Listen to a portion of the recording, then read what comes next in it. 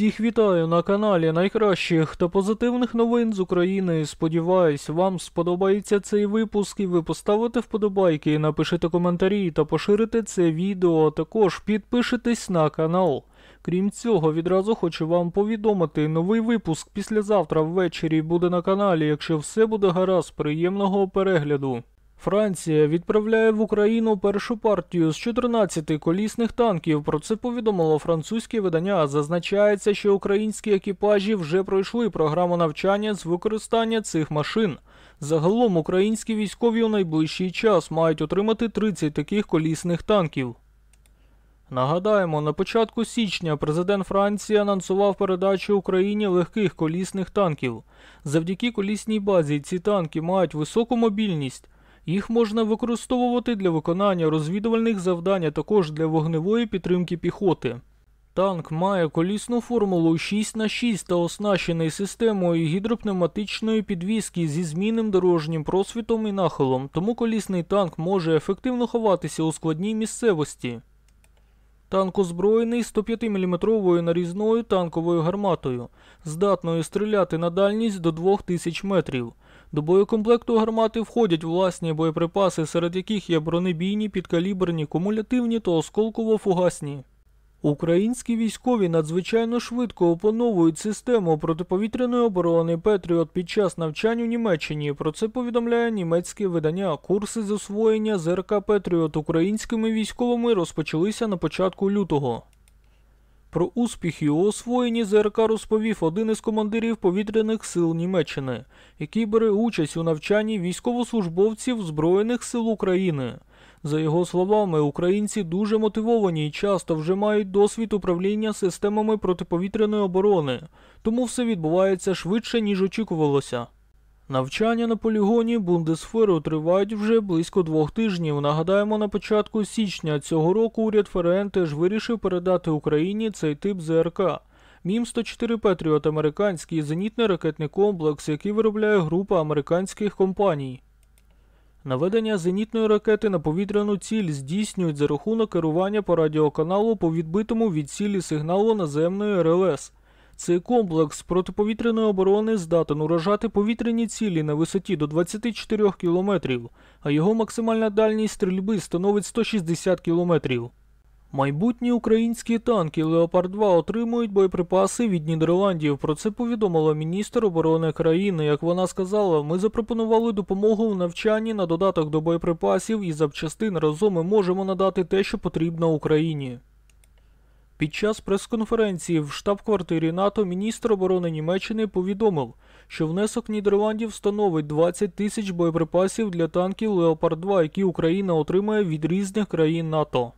Велика Британія, Нідерланди, Норвегія, Швеція та Данія об'єдналися у Міжнародний фонд підтримки України та виділяють перший пакет допомоги на 200 мільйонів фунтів стерлінгів. Про це повідомило Міністерство оборони Великої Британії.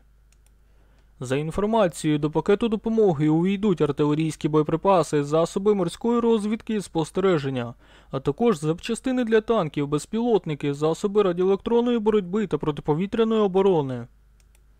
Як сказав міністр оборони Великої Британії, цей комплект обладнання забезпечить значний приріст боєздатності Збройних сил України та підтримує їхню здатність захищати свою країну. Нагадаємо, створення нового фонду в серпні минулого року ініціювала Британія.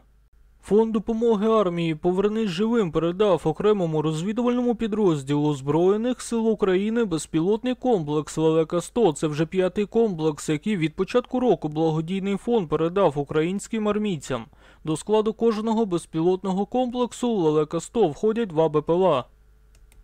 Безпілотники оснащені денною і нічною оптикою для виконання розвідувальних завдань і коригування ударів вогневих засобів Збройних сил України. У квітні минулого року фонд замовив української компанії 25 вітчизняних розвідувальних комплексів Лелека 100. Відтоді фонд отримав і передав 11 комплексів, які допомагають українським військовим. Комплекс пристосований для роботи в умовах складної радіоефірної обстановки у режимі навмисної постановки радіозават або блокування систем супутникової навігації. Українським військовим надали сучасні автономні розвідувальні центри SkyKit. Про це повідомило французьке видання SkyKit повністю автономний розвідувальний центр, який дає солдатам велику перевагу. SkyKit містить два вбудовані монітори, вбудовані акумуляторні блоки живлення та має спеціальний ноутбук. У нього також є дрон та невелика камера. Система має дати солдатам можливість ефективно обробляти розвідувальні дані, приймати рішення та виконувати операції з віддалених місць.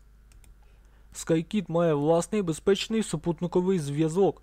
Завдяки програмному забезпеченню український солдат може під'єднатися до одного з 40 комерційних супутників, аналізувати дані, зібрані різними модулями штучного інтелекту.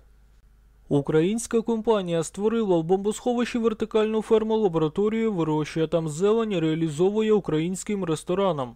На унікальній фермі вдалося провадити інноваційну систему освітлення, завдяки якій компанія збільшила обсяги виробництва зелені вдвічі. Засновник компанії розповів, що вертикальна ферма розміщується в бомбосховищі площею 300 квадратних метрів. Висота стелі сягає 5 метрів. Приміщення розбите на зони вирощування, кожна з яких характеризується власним мікрокліматом. На фермах компанії працює власна система освітлення. Компанія активно працює над виведенням свого продукту на міжнародний ринок. Наразі вже завершилося постачання системи освітлення для вертикальної ферми, яка покриває 400 квадратних метрів в Дубай. Укрзалізниця прийняла з заводу та поставила на маршрут модернізовану електричку. Це 14-та за рахунком електричка модернізована 2022 року на одному з заводів України. Це перша модернізація електрички, виготовленої в Україні. Як зазначили на заводі, це наш перший досвід модернізації такої моделі, новий проект модернізації. Під час модернізації додали USB-порти для зарядки гаджетів та зробили 24 місця для велосипедів. Парламент Норвегії виділив для України 75 мільярдів крон у межах п'ятирічного пакету підтримки. Про це повідомив прем'єр-міністр Норвегії. Щорічні внески у межах програми складатимуть приблизно 15 мільярдів крон. Як сказав прем'єр-міністр Норвегії, я дуже задоволений наявністю такої широкої підтримки щодо цієї програми для України, яка діятиме упродовж наступних п'яти років. Як додав очільник уряду, у 2023 році половина наданої допомоги буде у вигляді військової підтримки. Ізраїль надасть понад 200 мільйонів доларів на розбудову медичної інфраструктури України. Про це заявив міністр закордонних справ держави Ізраїль. За його словами, Ізраїль підтримує народ України. Як зазначив міністр, протягом минулого року Ізраїль надав значну гуманітарну допомогу Україні. Крім того, міністр оголосив, що Ізраїль допоможе Україні розробити розумну систему раннього попередження про ракети та дрони. Українські освітяни отримали 50 тисяч хромбуків від ЮНЕСКО та компанії Google. Про це повідомили у Міністерстві освіти і науки. Зазначається, що напередодні до України доставили останню партію із 4 тисяч електронних пристроїв. Дія анонсувала 6 нових сервісів, які незабаром з'являться в мобільному застосунку. Серед них заява про шлюб, розмитнення автівки та обмін водійського посвідчення. Про це повідомив міністр цифрової трансформації України. Дуже та щиро всім дякую за підтримку та перегляд. Також, якщо у вас є бажання та можливість, ви можете підтримати канал фінансово. Реквізити на PayPal написані у першому закріпленому коментарі.